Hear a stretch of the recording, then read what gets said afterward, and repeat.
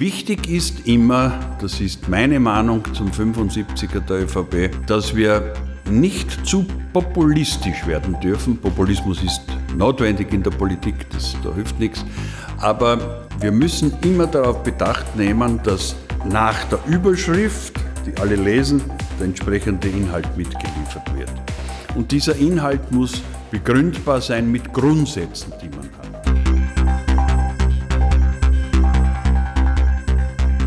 Stimmrecht, der Podcast der Steirischen Volkspartei. Stimmrecht bedeutet, wählen zu dürfen. Stimmrecht bedeutet aber ebenso, nicht nur zu reden, sondern auch etwas sagen zu wollen. Hören Sie rein und hören Sie zu. Wir bringen Ihnen die Politik und ihre Menschen näher.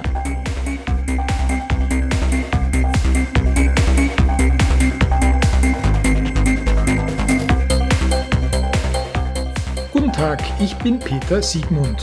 Aus Anlass des 75. Geburtstages der Steirischen Volkspartei am 18. Mai dieses Jahres dürfen wir heute Landeshauptmann Hermann Schützenhöfer vor dem Stimmrecht-Mikrofon begrüßen. Der sechste weiß-grüne Landeschef, den die STVP nach 1945 stellt, gibt nicht nur Einblicke in seine politischen Anfangsjahre, sondern er relativiert auch den großen Wahlerfolg des vergangenen Herbsts. Er spricht über die Unterschiede der STVP zu anderen Landesgruppen und darüber, warum seine Partei seit mehr als 60 Jahren Landtagswahlkämpfe auf Personen aufbaut, wie und durch wen es dazu kam. Vor allem aber redet er ausführlich wie selten zuvor über sein Verhältnis zu Bundeskanzler Sebastian Kurz.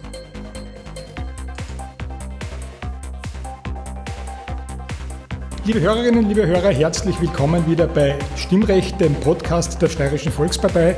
Heute mit einem ganz speziellen Gast, Herr Landeshauptmann Hermann Schützenhöfer. Herzlichen Dank dafür, dass Sie heute bei uns sind. Sehr gerne. Grüß Gott an alle Zuhörerinnen und Zuhörer. Der Anlass unseres Gesprächs ist das 75 Jahre Jubiläum der Steirischen Volkspartei. Ich nehme an, es waren große Feierlichkeiten für diesen Anlass geplant die sind jetzt wahrscheinlich ein bisschen in den Hintergrund geraten, oder? Ja, das Virus hat uns äh, alles zunichte gemacht, auch auf diesem Gebiet. Aber nichtsdestotrotz, das ist ein wichtiges Jubiläum für uns. Und ich bin stolz, äh, gerade zu 50 Jahre, dieser 75 Jahre schon in der Volkspartei dabei zu sein. Es ist sehr viel von Ihnen bekannt, sehr viele Geschichten von Ihnen kennt man. Eine derjenigen ist, dass Ihr Vater einmal nach Hause gekommen ist und gesagt hat, ich bin jetzt arbeitslos. Wie alt waren Sie damals? Naja, damals bin ich in die äh, Hauptschule gegangen, also ich werde so zwölf Jahre gewesen sein. Das heißt, Sie haben von der Politik wahrscheinlich noch nicht allzu viel mitbekommen gehabt, nehme an, wahrscheinlich so ein bisschen am Rande, was man jetzt so als jugendlicher, angehender Teenager mitkriegt. War das für Sie damals klar, weil Sie haben gesagt, Sie haben gewusst, da muss ich jetzt etwas tun, das kann man sich nicht gefallen lassen oder so, wenn man das, glaube ich, ein bisschen überspitzt sagen kann. Warum war für Sie klar oder war damals für Sie klar, ich muss politisch was machen und ich muss mit der ÖVP etwas machen? Was war Ihr erster Kontakt zur ÖVP? Ja, damals war uns äh, die Ohnmacht ins Gesicht geschrieben, denke ich mir wohl. Es gibt ja kein Bild davon, aber das äh, vergisst man natürlich nie wenn man da in der kleinen Küche beieinander sitzt, der Vater kommt, der ja die ganze Woche weg war, nach Hause mit seinem berühmten weißen Sackerl, wo er das Geld drinnen hatte und dann sagt er, er ist aus politischen Gründen entlassen worden, weil er der Gewerkschaft nicht beigetreten ist. Das war ja damals gleichbedeutend mit dem Beitritt zur sozialistischen Fraktion erst nach drei Wochen wieder aufgenommen worden. Aber das hat mir damals gezeigt, dass es im Leben ungerecht zugehen kann. Und ich habe nicht dort äh, mich entschlossen, äh, irgendetwas politisch zu machen, aber dort war mir klar, man muss mitmischen und das ist damit äh, gewachsen. Wie kam es zu Ihrem Interesse für die Politik? Das hat in der Folge natürlich dann auch mein Lehrherr in Kirchbach, der noch lebt, wird bald einmal 100 Jahre werden, der Anton Mabler, äh, gefördert, weil äh, der mich als Lehrling, ich habe Kaufmann gelernt in Kirchbach, immer aufgefordert hat, nicht nur Fußball zu spielen, was ich leidenschaftlich gerne gemacht habe, sondern auch zu formulieren. Ich habe immer schon gerne und gut formuliert, habe äh, bei Zeitungen mitgeschrieben und bin dann irgendwie in die politische Arbeit hineingerutscht. Ich habe für die Tagespost, für die Neue Zeit, für die kleine Zeitung geschrieben und dann eben auch bei der Jugendzeitung Horizont, die ja meine Schwester gar nicht ich zugeschickt bekommen hat als äh, Jungwählerin. Und da habe ich mich einmal gemeldet, bin raufgefahren und die haben gesagt, naja, schreib einmal einen Artikel. Horizont haben wir eine gemeinsame Vergangenheit. Ich habe auch einmal kurzfristig fürs Horizont schreiben dürfen, damals ein Porträt über den Thomas Muster, weiß ich heute noch. War, ja, ja. War eine wirklich spannende Geschichte. Sie sind dann relativ jung, mit 18, in die Politik gekommen, der ÖVP beigetreten. Hat es damals für Sie irgendeine Unterscheidung zwischen der SDVP und der ÖVP gegeben? Ich habe im Wesentlichen ja nur die SDVP gekannt. Man hat als Kind mitbekommen und die Bilder gesehen äh, von, von Fiegel, von Raab. Damals äh, war ja nach Gorbach äh, Josef Klaus Bundeskanzler.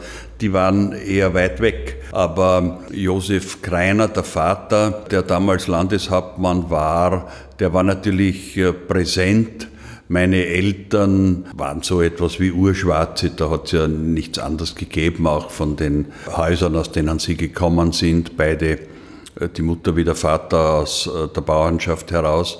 Und mich hat immer fasziniert, dass es in der Volkspartei möglich war, die eigene Meinung vor die des Kollektivs zu stellen. Und ich habe immer ganz gern mitgemischt. Ich war ja auch in der Landjugend als Schriftführer tätig ich habe mich für diese Themen interessiert und durch diese Arbeit im Horizont bin ich dann äh, hineingekommen und im Juni 70 hat mich der damalige Obmann der jungen ÖVP, damals noch junge Generation in der ÖVP, Walter Heinzinger, gefragt, ja, äh, was tust du an einem Werktag in Graz? Habe ich gesagt, ich habe heute meine Prüfung gehabt, ich habe sie bestanden, ich bin jetzt kaufmännischer Angestellter. Und ich habe eh schon dem Niederl geschrieben, dem Landeshauptmann, dass ich eine Chance bekomme, äh, mitzuwirken, irgendwo in einem Betrieb in Graz eine Stelle zu bekommen. Es war noch der alte Greiner, damit ich mich berichtige, aber der Niederl war Stellvertreter und hat eine Sprechstunde in Kirchbach gehalten. Da habe ich ihn besucht und ich habe dann ein Schreiben bekommen von der Raiffeisen Zentralbank, dass ich anfangen könnte, zunächst einmal im Expedit. Gibt es irgendjemanden, den Sie als Ihren Mentor in der Steirischen Volkspartei bezeichnen würden? Ganz gewiss Franz Wegert. Der war 23 Jahre lang, äh, damals hat man gesagt, Fremdenverkehrsreferent. Der war so lange wie keiner in der Regierung das Glück von mir war, ich habe zunächst ja, die Bünde sehr äh, kritisiert. Er hat mich dann einmal geholt, hat gesagt, naja, mach's besser. Komm zu mir als Nachfolger vom Sepp Geschill, der 30 Jahre ÖAP-Sekretär war. Und äh, mein Glück war, er war zu diesem Zeitpunkt schon am äh, Zenit seiner politischen Arbeit. Und er war froh, hier einen sehr jungen, durstigen Menschen zu haben, der auch aneckt. Ich habe ja damals alle möglichen Dinge gefordert, die in der Partei nicht anerkannt wurden, wenn ich an den Mindestlohn denke und so weiter. Das hat ihm sehr gefallen und äh, mir hat sehr imponiert, das werde ich ihm mein Leben lang nicht äh, vergessen, dass er in Fällen, wo ich übers Ziel geschossen hat, seine schützende Hand über mich gehalten hat. Die ÖVP hält ihre schützende Hand, wenn man das so plakativ sagen darf, seit vielen, vielen Jahren über der Steiermark, auch wenn es zwischendrin eine sozialdemokratische Phase gab. Aber die ÖVP war ja trotzdem in der Regierung. Was macht denn die Steirische Volkspartei aus? Was ist ihr Asset, wie man jetzt neudeutsch sagen würde? Was ist das Wichtige der SDVP und was ist das Wichtige der SDVP für dieses Land? Ich glaube, das, was uns unterscheidet von den anderen Landesgruppen, ist, dass es äh, bei uns immer Menschen gegeben hat, die hereingeholt wurden, die auch am Ende ihrer politischen Tätigkeit der ÖVP noch nicht angehört haben. Also diese Querschädeln, würde man heute sagen, die Querdenker und Nachdenker, die Vordenker. Also vom Helmut Strobel über Bernd Schilcher bis zum Gerhard Hirschmann, die Dinge geschrieben haben in unserer programmatischen Zeit, die ja nicht abreißen darf, im Modell Steiermark, das wir 72 schon erstmals veröffentlicht haben, äh, die undenkbar waren. Und der alte Koren, der legendäre Kulturpolitiker des Landes, äh, hat ja einmal gesagt, Heimat ist Tiefe, nicht Enge. Und der war ja persönlich ein ziemlich konservativer Mensch. Aber der hat, es ist mir noch bekannt, sein, sein, sein breiter Hut und seinen Lodenmantel, seinen Wetterfleck, wie er gesagt hat, das ist äh, symbolisch gesagt, den hat er über alle äh, gehalten, die in der Kulturpolitik hinausgegrast haben. Und äh, das Kunsthaus, das, der, der steirische Herbst, Trigon, das alles, was da bei uns geschehen ist, ist eben anders als Bregenz, als Salzburg, als Wien, so schön das ist, dort in die Oper zu gehen oder auf der äh, Seebühne zu äh, sein. Wir haben Kultur immer als Widerspruch gefördert und gefordert und das ist der Unterschied. Es gab vor Jahrzehnten die Wirtschaftspartei die ÖVP, die Arbeiterpartei die SPÖ. Diese Grenzen sind ja weitestgehend verschwommen. Die ÖVP ist also nicht mehr klassische Wirtschaftspartei, sondern Partei für alle. Hat die ÖVP noch Ecken und Kanten und könnte sie vielleicht ein bisschen mehr davon gebrauchen? Man könnte nie davon genug haben. Aber mm, die ÖVP ist natürlich eine Partei mit zentrifugalen Kräften und man muss auch schauen, dass diese Buntheit auch äh, zusammenhält, wenn es drum und drauf ankommt, damit man weiß, wofür die ÖVP steht. Wir haben uns immer als eine Sammelbewegung verstanden, eine Sammelbewegung, in der es den Klassenkampf nicht gibt. Und das heißt, dass wir immer darauf geschaut haben, wie geht es dem Bauern? Wie schaut es aus, damit er seinen gerechten Anteil haben kann im ländlichen Raum, die die Umwelt schützen, den Tisch decken? Wie geht es dem Gewerbebetrieb? Wie geht es dem äh, großen Unternehmen? Denn wenn die keine Gewinne machen, kann ich ja den Sozialstaat nicht äh, halten. Deshalb haben wir das immer gefördert, dass Betriebe hier investieren, sich hier ansiedeln, hier Arbeitsplätze schaffen. Und wir waren immer darauf bedacht, dass eben der Arbeiter, der Angestellte, der Beamte sein Einkommen hat. Das hat der Wegert mir immer so schön gesagt. Nur wer das Ganze im Auge hat, kann auch für seinen Teil etwas tun. Und das ist heute richtiger denn je. Noch dazu, wo sich diese Grenzen ja alle verschoben haben. Die Arbeiterpartei, was ist das? Wir haben keine Arbeiter in diesem klassischen Sinne mehr. Das sind alles Menschen, die irgendwo beteiligt sind, die wirtschaftlich denken. Und da sind wir momentan als Volkspartei gut. Wichtig ist immer, das ist meine Meinung zum 75er der ÖVP, dass wir nicht zu populistisch werden dürfen. Populismus ist notwendig in der Politik, das, da hilft nichts. Aber wir müssen immer darauf bedacht nehmen, dass nach der Überschrift, die alle lesen, der entsprechende Inhalt mitgeliefert wird. Und dieser Inhalt muss begründbar sein mit Grundsätzen, die man hat. Wir leben in einer Zeit, wo ich mit einem Grundsatzartikel, mit einem Grundsatzbuch nicht sehr viele hinter dem Ofen hervorhole. Es darf aber keine Ausrede sein, das nicht zu tun, denn nur wer weiß, woher er kommt, weiß ja, was er macht und hat vielleicht eine Ahnung, wohin er geht. Vielleicht. Weil Sie jetzt sehr viel über die Inhalte der SDVP gesprochen haben. Ihr letzter Wahlkampf war ausschließlich auf Sie zugeschnitten. Also wenn ich jetzt jemanden aus dem Ausland hier gehabt hätte und gesagt hätte, schau dir die Plakate an, unserer und jetzt und so weiter, also meiner Meinung nach wirklich großartige Schlagwörter, die alles ausgedrückt haben, was sie ausdrücken möchten. Wenn der wieder nach Hause gefahren wäre, nach Hannover, Wanne Eickel oder Buxtehude und die hätte gesagt, hast du die Wahlplakate gesehen? Er hätte gesagt, ja. Dann hätte er gesagt, wie, wie heißt der? Hätte aber vielleicht gesagt, Schützenhöfer. Er hätte gesagt, welcher Partei gehört der an? Hat gesagt, keine Ahnung. Wie sehen Sie das jetzt, dass Sie einen Wahlkampf ganz auf sich zuschneidern lassen, die ÖVP da ja faktisch ausklammern und trotzdem die ÖVP so in den Mittelpunkt stellen?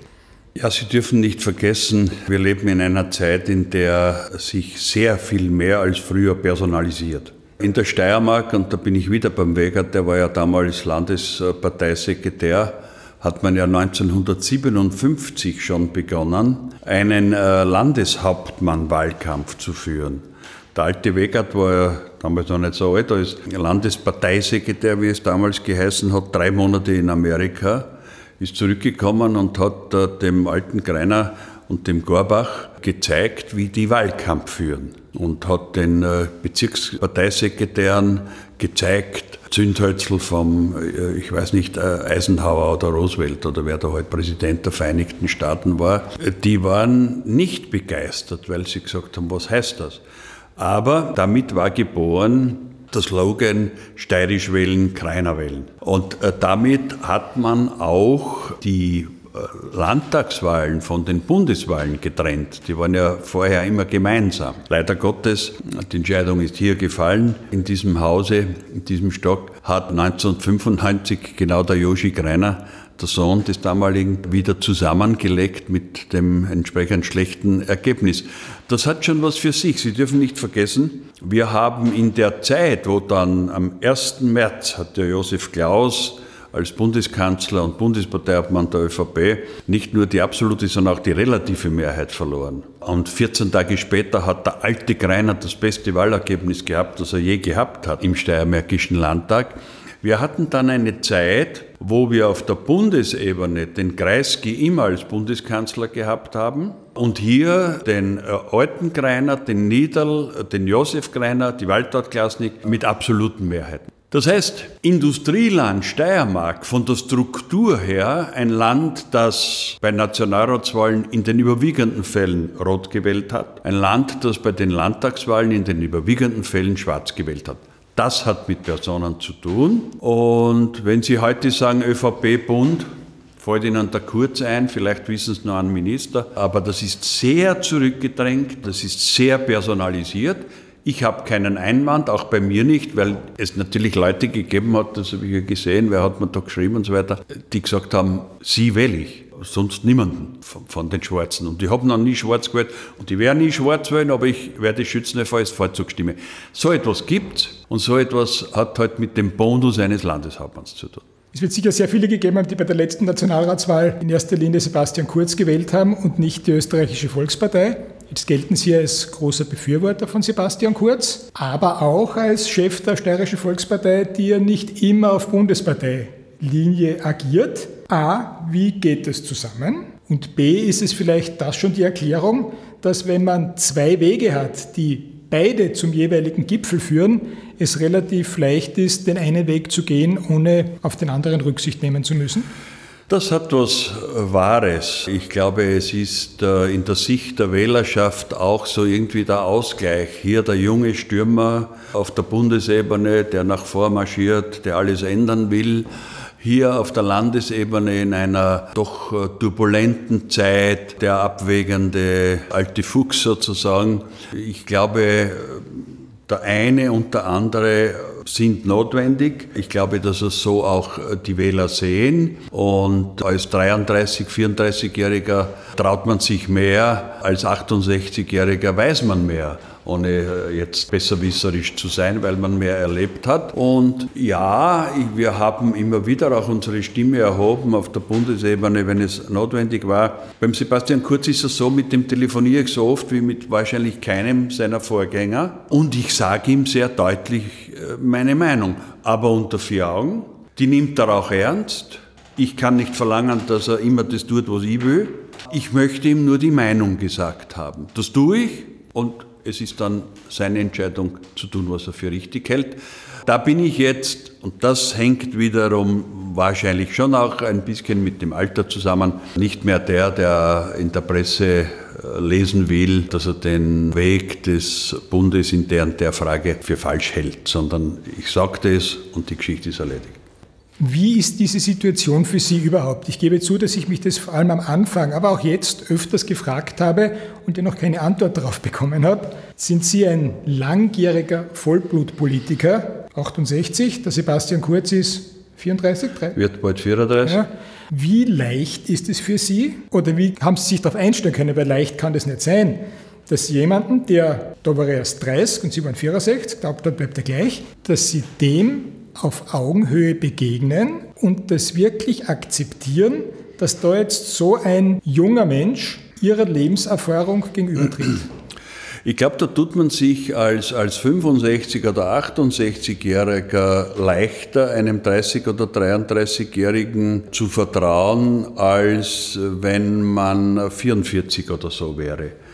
Weil in diesem Alter, das sehe ich ja auch bei meinem Sohn, der ist ein paar Jahre älter als der Bundeskanzler, kommt ja die quasi Schutzfunktion dazu. Also ich kenne ja kaum jemanden, mit dem ich so viel Streit wie mit meinem Sohnemann aber wie es äh, schimpft sonst jemand über ihn. Nicht? Das geht nicht.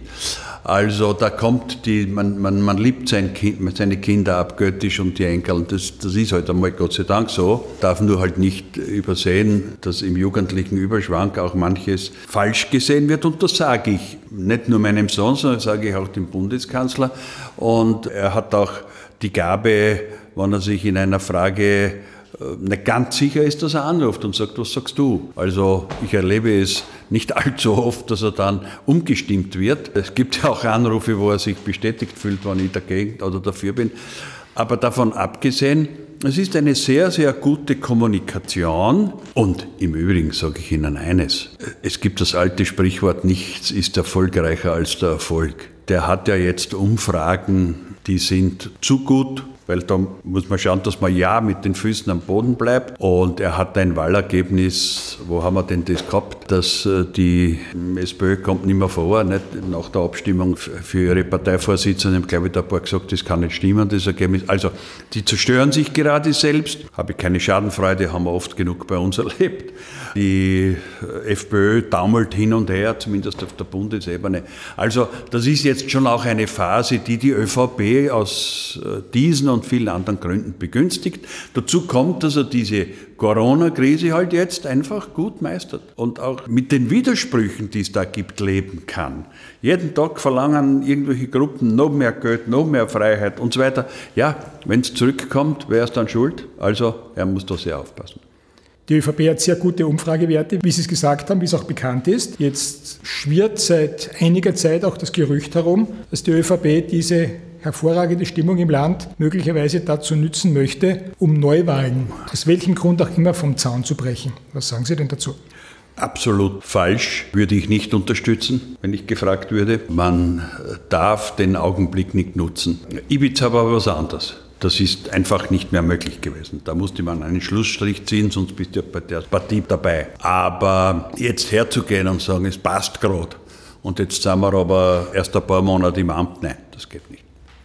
Jetzt erlaube ich mir, Sie ein bisschen aus dieser Wohlfühlsituation herauszuholen. Der Wahltriumph des vergangenen Herbsts, groß gefeiert, berechtigterweise mit großer Freude behaftet, war, wenn ich es richtig interpretiert habe und richtig angeschaut habe, das drittschlechteste Wahlergebnis, das die Steirische Volkspartei bei Landtagswahlen nach dem Zweiten Weltkrieg eingefahren hat. Sie nicken, also ich habe offensichtlich richtig recherchiert. Bei aller Freude, bei allem Jubel, wie kommentieren Sie denn das, wenn man Sie mit dieser Tatsache konfrontiert?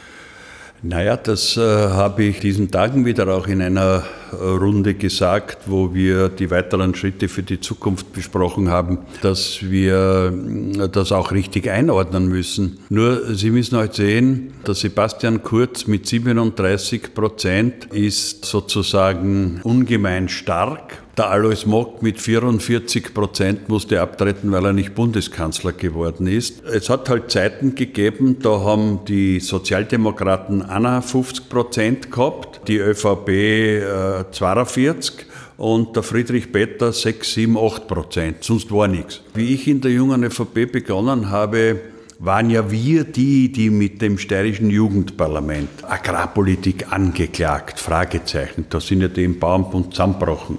Nicht? Und haben uns gesagt, um Himmels Willen, was wollen die da? Wir haben Fragen gestellt. Wir haben gesagt, jeder vierte Gemeinderat der ÖVP, äh, Gemeinderatskandidat muss ein Junger sein. Haben aber vergessen, das Alter darunter zu schreiben. Daher haben sie uns dann 45-Jährige als jung verkauft. Aber es war auch der Bundesobmann der jungen ÖVP, der Fritz König, über 40. Da hat sich ja wahnsinnig viel geändert. Da sind die Grünen gekommen. Die haben ja dann Jahrzehnte all das gemacht, was die Jugendorganisationen zum Teil gemacht haben. Dann sind die Freiheitlichen völlig anders aufgetreten als früher noch. Die haben den Sozialdemokraten die Arbeiter weggeräumt. Das heißt, aus zwei starken und einer vorhandenen Partei, auch bei uns im Landtag, ÖVP, SPÖ, oft ganz knapp, und dann zwei freiheitliche Abgeordnete, hast du drei gleich starke Parteien. Das letzte Mal 15 äh, Rot, 14 Mandate Schwarz, 14 Mandate Blau. Und in diesem Kontext das Ganze zu sehen, dass der Unterschied zwischen der SPÖ und der ÖVP nicht von der ÖVP her zur SPÖ ein Rückstand von 0,8, sondern ein Vorsprung von 13 Prozent ist und bei der FPÖ noch mehr.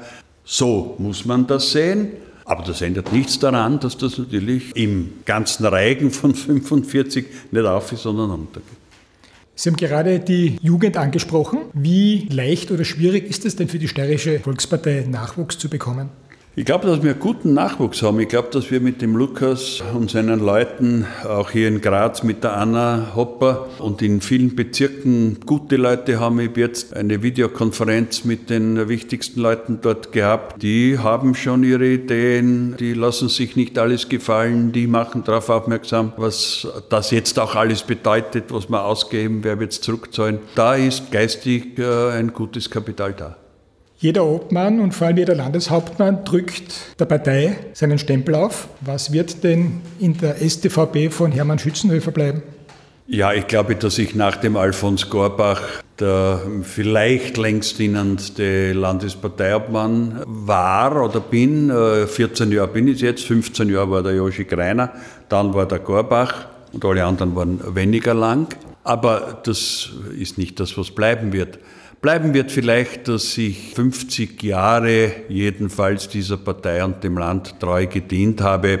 Vielleicht wird bleiben, dass ich es war, der durch die Wahl am 24. November 2019 ein Ergebnis erzielt hat, dass wir wieder Erste wurden und dass wir damit aus eigener Kraft moralisch auch den Anspruch stellen konnten, den Landeshauptmann zu stellen. In einem halberten Satz ausgedrückt, vielleicht wird bleiben, dass ich den Landeshauptmann zurückgeholt habe.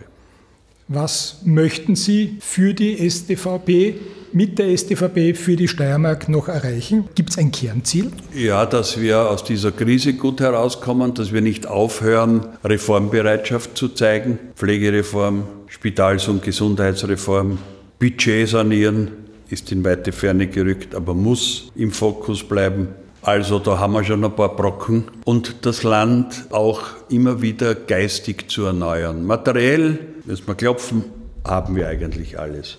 Aber neben dem materiellen Wohlstand geht es auch um den geistigen Wohlstand. Und je höher der materielle Wohlstand ist, sage ich immer wieder, umso mehr ist der geistige oft gefährdet. Mit Ihnen hat die Steirische Volkspartei sechs Landeshauptleute nach dem Ende des Zweiten Weltkrieges gestellt. Ja. Wer wird denn der siebte ÖVP-Landeshauptmann sein? Ich sage es berechtigt der, weil der Titel ist ja der Landeshauptmann, also es ist geschlechtsspezifisch erlaubt. Die Frage ist natürlich, wer könnte denn Ihre Nachfolge antreten? Und diese Frage ist unbeantwortbar. sie ist schon beantwortbar, aber Sie wollen sie nicht beantworten. Das, so schaut's aus. das macht gar nichts. Herr Landeshauptmann, ich bedanke mich ich sehr, sehr herzlich mich. dafür, dass Sie sich die Zeit genommen haben Danke. für das unterhaltsame Gespräch, für das Hintergrundgespräch und ich wünsche Ihnen weiterhin alles Gute für Sie und für die Steiermark. Das wünsche ich auch. Danke, alles Gute. Danke. Liebe Hörerinnen, liebe Hörer, herzlichen Dank für Ihre Aufmerksamkeit, für Ihr Interesse an Stimmrecht, dem Podcast der Steirischen Volkspartei, diesmal mit dem Landeshauptmann der Steiermark, mit Hermann Schützenhöfer. Ich kann Ihnen ausnahmsweise schon verraten, wen Sie in der nächsten Folge von Stimmrecht hören werden. Es wird Landeshauptfrau Waltraud Klastik sein, jene Dame, die als erste Frau in Österreich den Job eines Landeshauptmanns im Jahr 1995 übernommen hat. Vielen Dank, bis dahin, auf Wiederhören.